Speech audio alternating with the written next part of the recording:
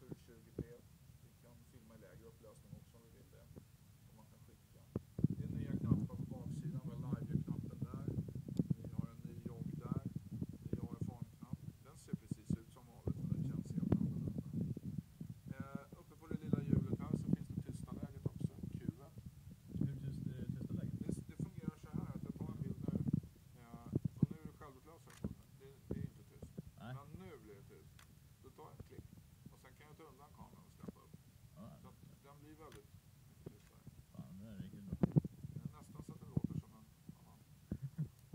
Det vanliga läget är inte tyst och det är gjort för att det ska vara snabbt då istället. Så att där kan man braka på.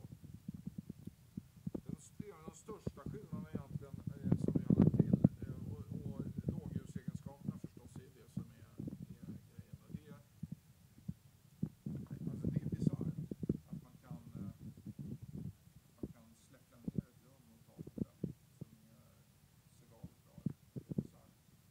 Fan, det är, så natt, nattfoto har en helt annan innebörd helt enkelt. Ja, nattfoto. eh, Jag vet att jag har en idé i huvudet om att göra en kampanj där Nikon tar bort det gröna ljuset.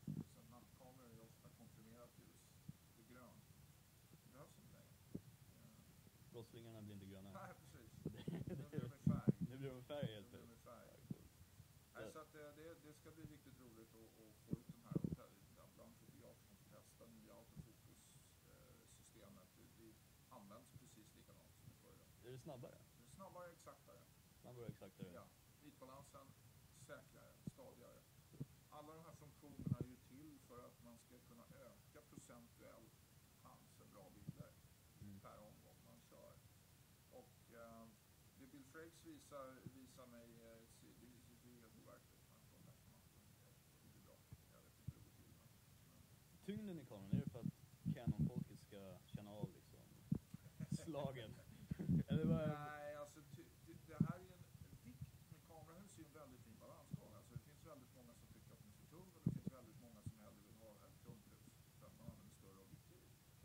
Eh, och på en 400 så är det inte så roligt med en D3000. Det blir liksom väldigt konstigt. Eh, då behöver man lite motvikt.